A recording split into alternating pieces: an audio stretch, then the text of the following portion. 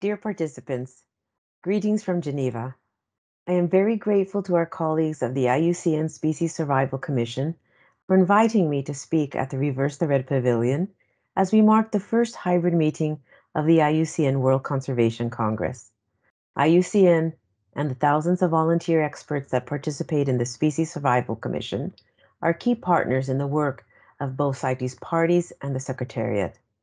The species specific expertise that the specialist groups of the SSC bring to our discussions and decision making is valued as an authoritative, objective source of information that contributes to numerous CITES processes, while the convention itself is historically tied to IUCN. I am therefore delighted to be able to join you for this occasion. IUCN and CITES have a long history of collaborating to ensure that parties' decisions are supported by the best available science. We also work together to reinforce science based and legally binding instruments that allow for the long term conservation of wild fauna and flora, their habitats, and the ecosystems they sustain. IUCN's Red List and the SSC's expertise stretch well beyond the species presently covered in the CITES appendices, but it presents us and parties with a valuable tool to inform us on the status of species that may currently not be within our scope of work, but which could one day become a part of it. This is increasingly becoming a part of conversations within the CITES family. At the latest meeting of the Conference of the Parties to CITES in 2019, for example, parties agreed to examine the conservation and trade status of non-CITES listed songbirds, amphibians, and redwoods.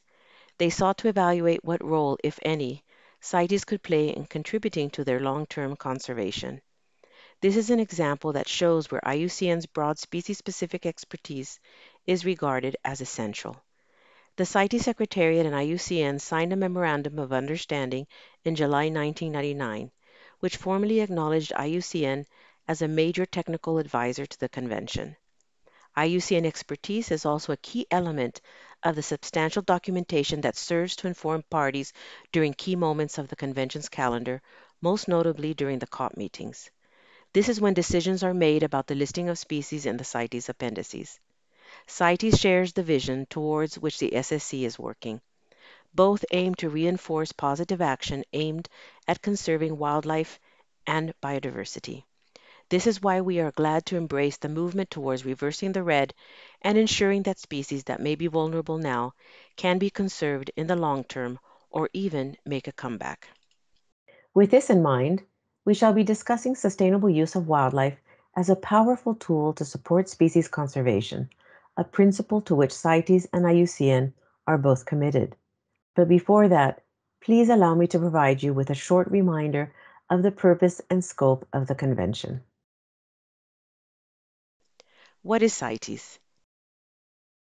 CITES stands for the Convention on International Trade in Endangered Species of Wild Fauna and Flora. It is a multilateral environmental agreement signed in 1973, which entered into force in 1975. CITES currently has 183 parties. CITES is both a trade-related and a conservation-related convention. It uses trade-related measures to achieve its prime conservation objective, to ensure that international trade in specimens of CITES-listed species of wild animals and plants does not threaten their survival in the wild. The convention regulates commercial and non-commercial international trade in over 38,000 species of animals and plants, including their parts and derivatives. So what kind of trade is covered by CITES? CITES provisions apply to international movements of all specimens of CITES-listed species, be it whole life plants or animals or any of their derivatives. This includes finished products, skins, meat, blood, bones, wood, waxes, oils, fruits, amongst others. By trade, we mean all imports, exports, re-exports, and introductions from the sea. Consequently, the convention is relevant to a wide range of sectors and businesses that rely on or trade in CITES regulated species and specimens. Examples include housing, agriculture and sustenance industries, with regulations on several fish species or wild meat. We can also cite furniture, with provisions for the trade in timber from trees such as mahogany or rosewood. But we can also point to the cosmetic and pharmaceutical industries, which use many medicinal plants, fashion and clothing, which use reptile and mammal skins, furs or fibers from wild animals, or the leisure, tourism, pet trade, and ornamental plant sectors, among many more. Many of you may not be aware of how CITES works.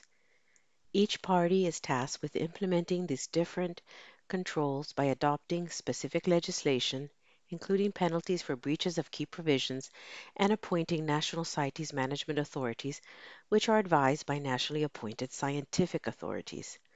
Species are placed in three different appendices with different controls over international trade depending on the appendix. All kinds of taxa are present in the appendices.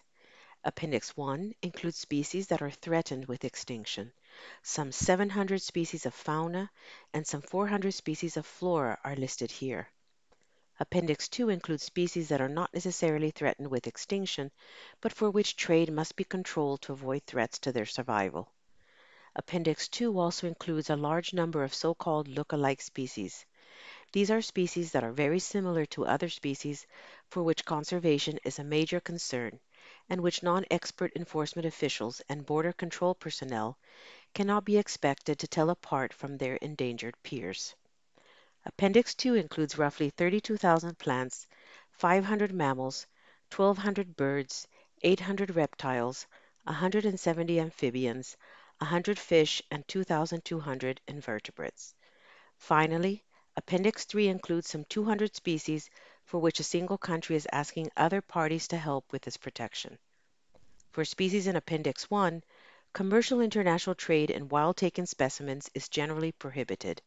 This includes commercial trade in, for example, elephant ivory, rhino horn, great apes, marine turtles, tigers, or pangolin specimens and derivative products.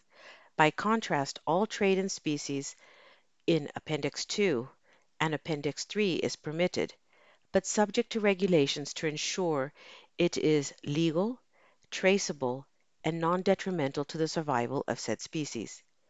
Generally speaking, trade is permitted for most species in the CITES appendices. Appendix 1 represents some 3% of all CITES listed species. The remaining 97% of species are listed in Appendices 2 and 3, they can be traded commercially subject to regulations. The Convention sets out three requirements for anyone who engages in trade of species listed in Appendices 1 or 2. Making a legal acquisition finding to certify that the specimens have been taken in accordance with national law.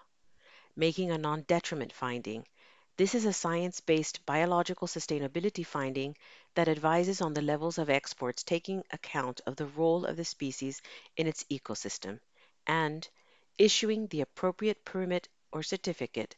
This is the formal authorization and the basis for subsequent controls along the trade chain, and report the trade transaction to the CITES Secretariat on an annual basis. Now a little bit on changes to the CITES appendices.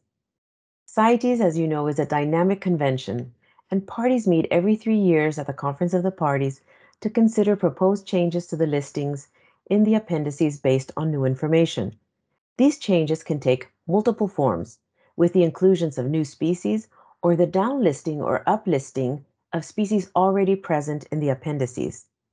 In all cases, IUCN expertise plays an important role in providing information and advice to parties on the trade, conservation, and biological status of species, and in supporting the formulation of their assessments and proposals.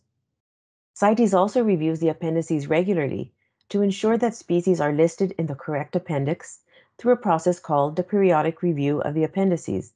The IUCN Red list assessments are very important in this regard. For example, the Corsican swallowtail Papilio hospiton a species of butterfly that was included in CITES Appendix 1 in 1987 following a proposal by the United Kingdom.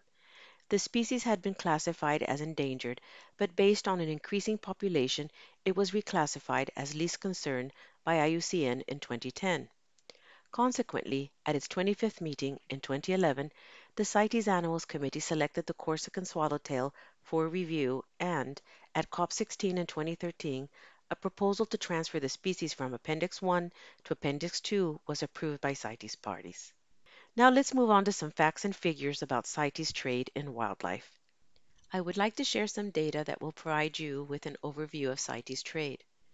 While it is difficult to put a single figure on the value of the overall trade in CITES listed species, given its scale, we do know this figure runs in the billions of US dollars every year, that it underpins millions of jobs, and provides for the livelihoods of rural and indigenous communities on all continents.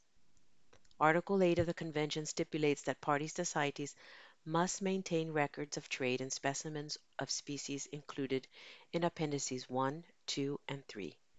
These records are compiled on mandatory annual reports that all parties must share with the Secretariat. These reports contain detailed breakdowns of individual transactions.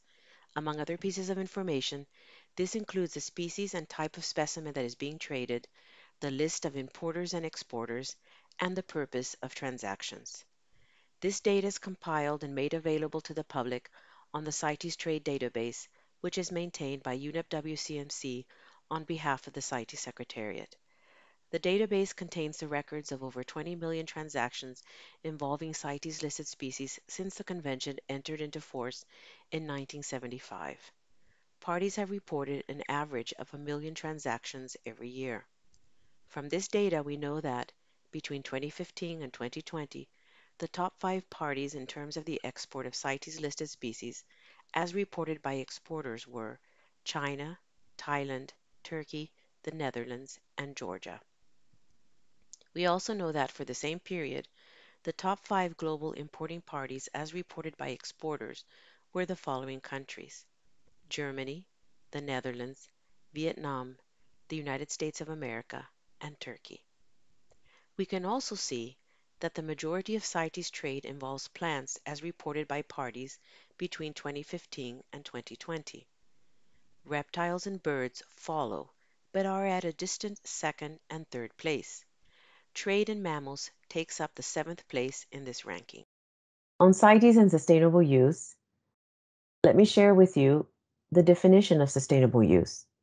The use of components of biological diversity in a way and at a rate that does not lead to the long-term decline of biological diversity, thereby maintaining its potential to meet the needs and aspirations of present and future generations. This concept is at the core of CITES, which falls in the nexus between trade, conservation, and development. Its mandate spans from conserving biodiversity to building opportunities for resilient and sustainable livelihoods and economic opportunities for communities who most closely rely on nature. Parties have recognized that legal, sustainable, and traceable trade can be beneficial to conservation efforts and to the well-being and livelihoods of these communities. Take the Appendix 2 listing of three species of teatfish or sea cucumbers, which entered into force in August 2020. These sea cucumbers are the cornerstone of a sizable and lucrative fishing industry in the Indo-Pacific region, which is thought to involve up to 3 million small-scale fishers. The teatfish commercial value had led to unsustainable harvesting, which made it necessary to put in place regulations for international trade to support their long-term conservation. Parties thus agreed to list the species in Appendix 2 after COP18. There are other benefits to trade in wild plants and animals. For example, the manufacturing of species-derived products and the production, processing, and handling of wildlife for trade can generate incentives to conserve species, ecosystems, and the services they provide. Where economic value can be attached to wildlife and a controlled management system is implemented, favorable conditions can be created for investment in the conservation and the sustainable use of the resource. This reduces the risks to wildlife from conversion of wildlife habitats to other uses. Parties have different approaches in assigning economic value to wildlife through both consumptive and non-consumptive means. In Resolution Conf 17.9, CITES parties agreed on a strong and restrictive framework for trade in hunting trophies of species listed in Appendix 1 or 2. This framework requires that trophy hunting is sustainably managed, does not undermine the conservation of target species, and, as appropriate, provides benefits to local communities.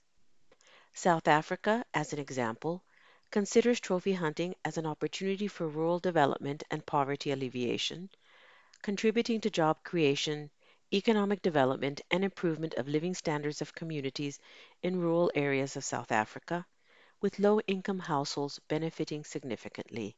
They have estimated that trophy hunting generates more than 5 billion South African rands or US $341 million every year and supports more than 17,000 employment opportunities. As stated in Resolution Conf 8.3, revised at COP13, parties recognize that the implementation of CITES listing decisions should take into account potential impacts on the livelihoods of the poor. They also acknowledge that effective implementation of CITES decisions can form part of a strategy to provide sustainable livelihoods for rural communities consistent with UN Sustainable Development Goals. Parties, partners, and the Secretariat have sought to gather data on the impacts of sustainable use of listed species on both the species status and on the livelihoods of communities that rely on them. At COP18, parties agreed to conduct new case studies that demonstrate how sustainable use of CITES listed species contributes to both livelihoods and species conservation. Over 30 new case studies were collected from countries in Africa, Asia, Europe, Oceania, North America, and South America, involving a wide range of species. These case studies were also made possible by the significant support of IUCN specialists and their data. Among these cases, you might be familiar with that of the vicuñas. These Andean camelids are found at high altitudes in the South American Altiplano and their fine silk-like wool has been prized for centuries. In the early 20th century, vicuñas were nearly brought to extinction because of high demand for their wool. They were placed in CITES Appendix 1 in 1975 and have since experienced a sustained recovery, also becoming the basis for a sustainable wool industry that has benefited local Andean communities. Some other examples where a link between sustainable wildlife management and species recovery has been demonstrated in the context of CITES include the bald eagle. When the United States adopted the bald eagle as its national symbol in 1782, it is estimated that there was a population of around 250,000 birds. Subsequent intense hunting, unintentional poisonings, habitat destruction, and other factors conspired to decimate eagle populations continent-wide. By 1963, there were only 417 nesting pairs. The bald eagle was therefore listed in CITES Appendix 1 in 1977. As a result of conservation actions and legal protection measures, the population of bald eagles throughout much of the species range rebounded dramatically by almost 780% over 40 years, as a result, at COP13 in 2004, CITES parties approved a U.S. proposal to transfer bald eagles from Appendix 1 to Appendix 2, reflecting their improved status. The Cape Mountain zebra was listed on CITES Appendix 1 on 1 July 1975. At COP17 in 2016, South Africa, its only range state, sought to transfer it from Appendix 1 to Appendix 2 and implement a sustainable hunting quota. At the time, its population comprised a minimum of 4,791 individuals in no less than 75 subpopulations. In this case, South Africa argued that private ranchers played an important role in conserving the population of the Cape Mountain zebra. Authorities also asserted that this role could potentially increase if economic incentives were in place to encourage them not to switch to more profitable species. CITES parties then agreed to transfer the Cape Mountain zebra to Appendix 2. The Morelet crocodile Mexico has more than 85% of the population of Morelet crocodiles and a ban on the export of the wild specimens.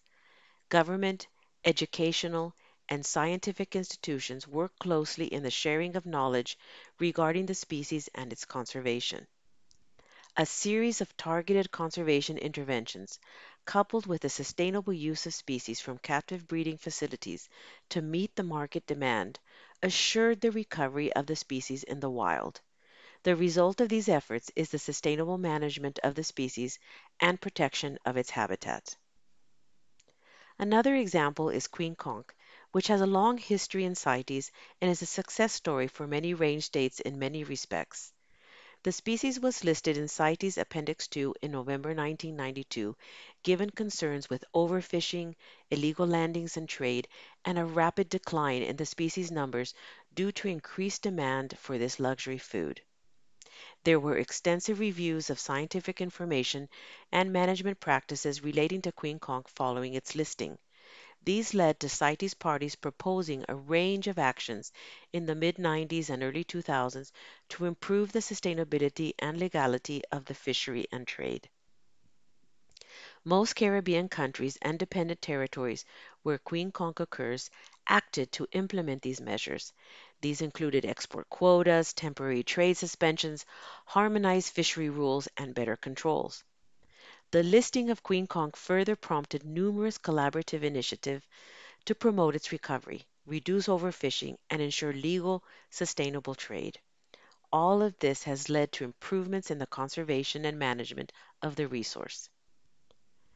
These examples demonstrate how CITES regulations accompanied by the long-term aim of sustainable use may lead to conservation successes and the remaining CITES livelihoods case studies show various similar successes with species including mammals like the ibex and markhor in Central Asia, medicinal and aromatic plants like South Africa's Cape aloe, reptiles like the saltwater crocodile in Australia, and fish like the pirarucu in the Amazonian basin.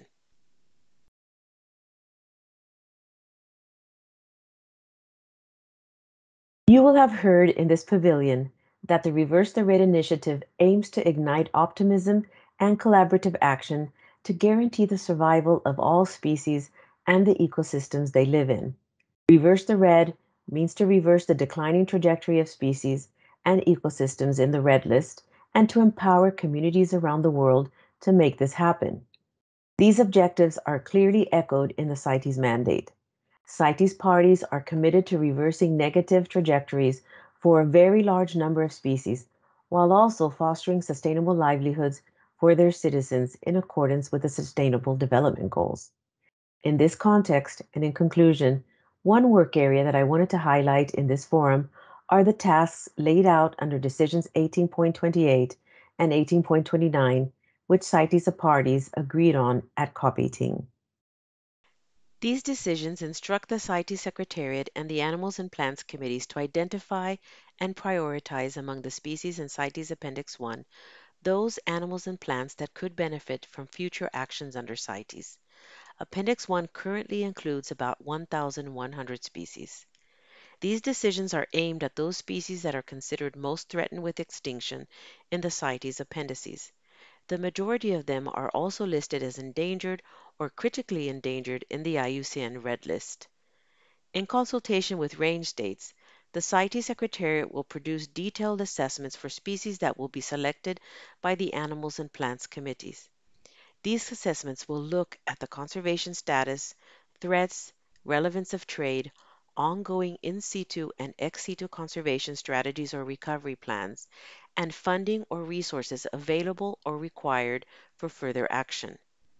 The Animals and Plants Committees must formulate recommendations, as appropriate, for communication to the range states and for the consideration at the next meeting of the Conference of the Parties in November 2022. This work is ongoing and it has clear links with the Reverse the Red initiative and for the practical implementation of the post 2020 Global Biodiversity Framework. The global framework builds on the Strategic Plan for Biodiversity for 2011 to 2020, and it sets out an ambitious plan to bring about a transformation in our relationship with nature.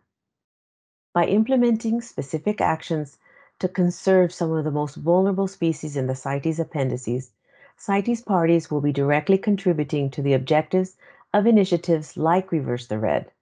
IUCN's Reverse the Red can help create awareness in the CITES community for meaningful species specific actions and monitor and inform about progress. Ultimately, these efforts will help us all reach the objective that is shared by CITES, IUCN, and all organizations and individuals working to tackle the global crisis of biodiversity loss, that of living in harmony with nature. We look forward to continuing our invaluable collaboration with IUCN and work together to ensure the conservation and recovery of species under threat.